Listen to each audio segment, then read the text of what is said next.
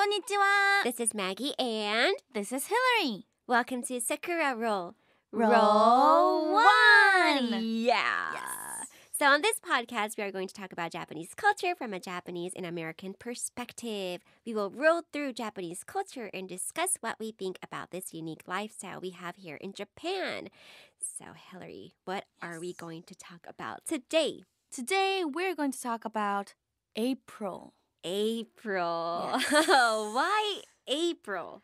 Well April I think it's there's a lot of difference Mhm. of the image of April in Mhm. Japan and America Mm-hmm. so today I hope we will talk about that April. Yes So, starting with the feeling of April. What what comes into your mind when you hear the word April? Well, because I lived in Japan for a long Mm-hmm. time, I think April is Mhm. a new year Mm-hmm. more Yep. than the New Year's Eve. Uh-huh. Yeah, uh, that's my image for So, April. Yeah. It's like a fresh new start or like a beginning kind of image. Yes. So, when I was in the States, when I Mhm. heard April, April was all about like April Fool's Day Mhm. or ah, yeah, yeah. Easter and all this, you know, cute little colors Mhm. and bunnies and stuff. Yeah. But yeah, when I came to Japan, it was totally different. It was like a new start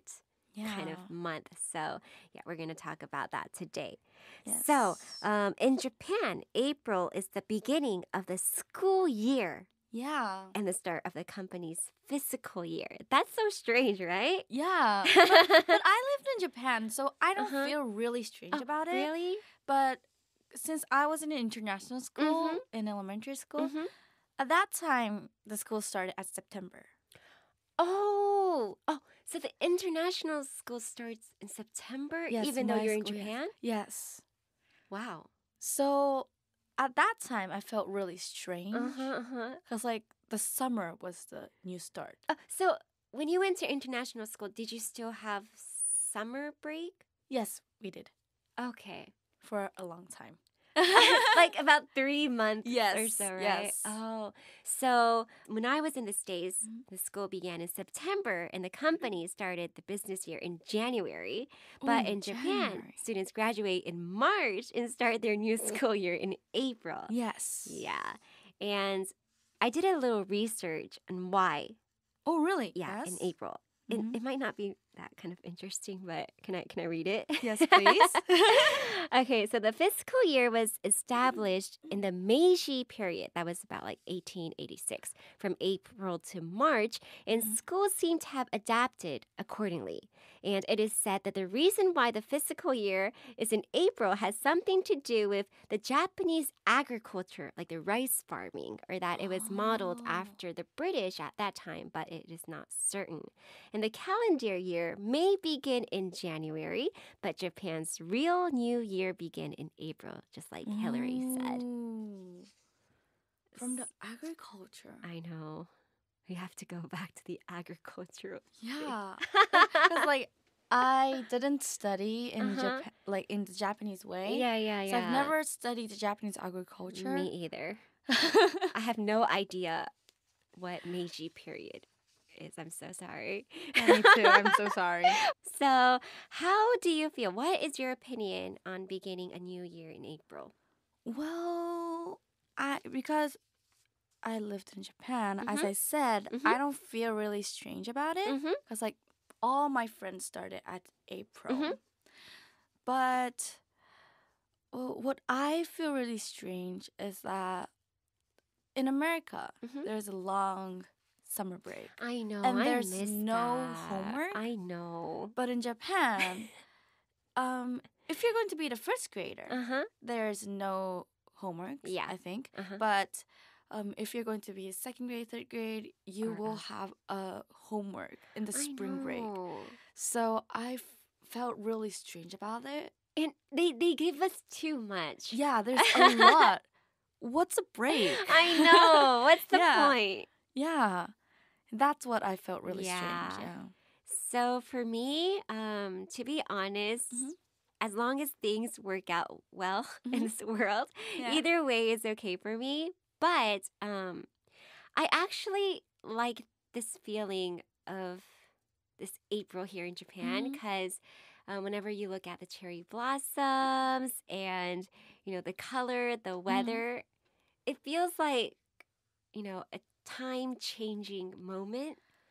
I feel like Oh. the cherry blossoms are like a little switch for us here in Japan. Oh, maybe yeah, I think so yeah, it's too. like an on and off switch Mhm. for us. Did, did you start something new in April? Um, well, I always um start a diet. in April? Yeah. and last year it went well, yeah. But did. I ate too much Uh-huh. this winter.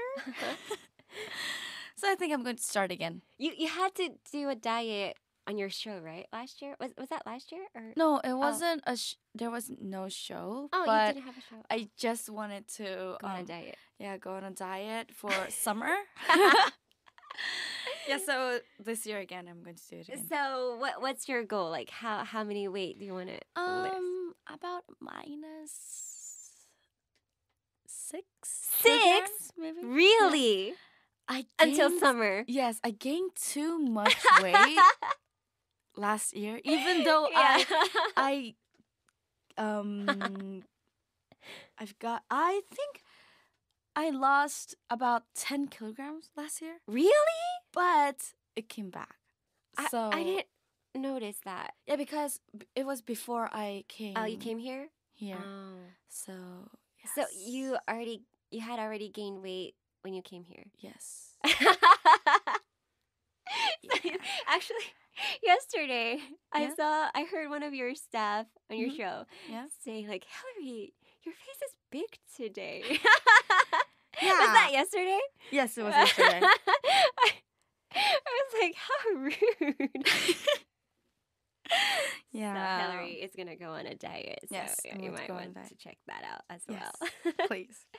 okay, now moving on to this week's vocabulary. Yay. On this segment, we will teach you real, authentic Japanese phrases that you can't find on textbooks. So this week's vocabulary is Maji.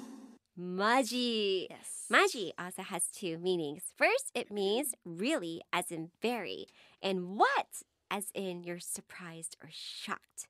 So it depends on how you say it. Now, here is an example.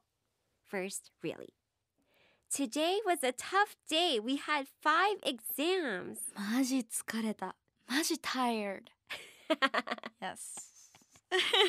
it's weird when you have to mix Japanese and English. In yeah, a I thought so sentence. too.